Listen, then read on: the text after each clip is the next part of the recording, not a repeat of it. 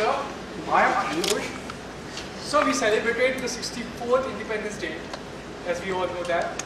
My question is, what's the reason behind that our India, our Indian population, 89% of population is below poverty line? I think it's an excellent question. The reality is, Ashutosh, right? The reality is, you know, we keep talking about caste and creed, Dalit and Brahman. I think as a country we have failed ourselves in only one area. We have not ever provided equal opportunities. I mean, this is a country which has entrepreneurship zeal. It's a country where people do things in the wake of the impossible. But as a nation, we didn't provide equal opportunities and we continue not to provide equal opportunities to our people. Everyone talks about Maoism. Let me take you back into history. In 1967, the first United Democratic Front government took birth in West Bengal. And in 1968, Ashim Chatterjee began the Naxalite movement, not from some farmland, but from the playing fields of Presidency College. Why? Because there was migration of young men folk from villages to metropolises only because there was a lack of opportunity. Today when we talk about Maoism, we fail to contextualize the history of what happened.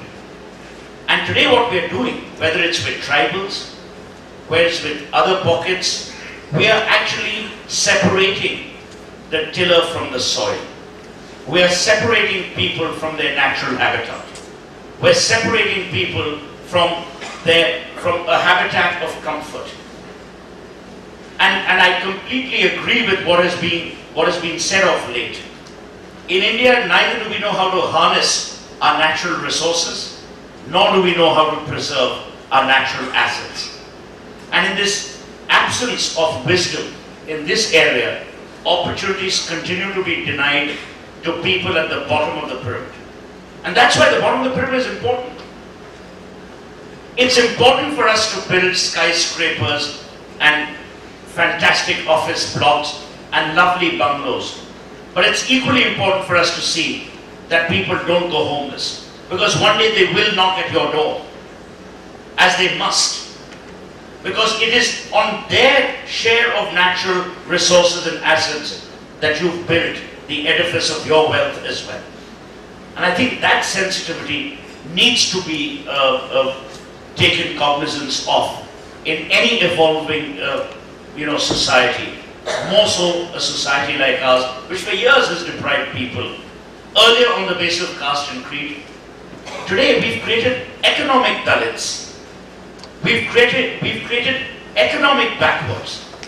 That's, that's not fair. You cannot have a country where you deprive people of basic drinking water or of sanitation, of connectivity.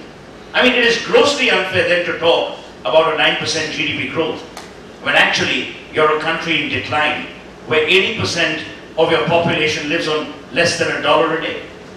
I mean, this paradox can't live forever.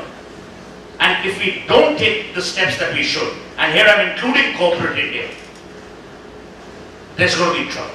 Which is why I'm delighted, and I'm not saying this because, you know, I work with uh, uh, Ratan with Mr. Krishna Kumar, any of these guys. What excites me is about their spirit of philanthropy.